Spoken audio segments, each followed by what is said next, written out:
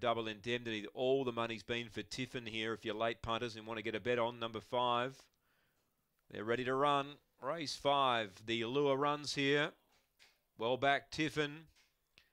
Set to run. Racing. Double indemnity came out good tonight. So did Inaminka, though, and so did Tiffin. It got pretty crowdy. And Inaminka and Tiffin ran to the lead now from Double Indemnity. Fourth placing, Loopy Fiesco. Then he's a dude. Well back Amada. Turbolicious last. Inaminka in front here on the bend. Trying Tiffin. The rail then Double Indemnity. Still Inaminka. Holds a length on Tiffin. Inaminka. Uh, wins second. I reckon double indemnity from Tiffin, Loopy Fiesco, Turbolicious. That's the order I'm going with. Amada second last, and he's a dude last in. Number four, Inaminka. Gets the money for Kev Bewley. Inaminka for Kev Bewley. Uh, gets the money here. For number one is second, double indemnity up on the rail. Was burnt off early, number one, but came again late to get second.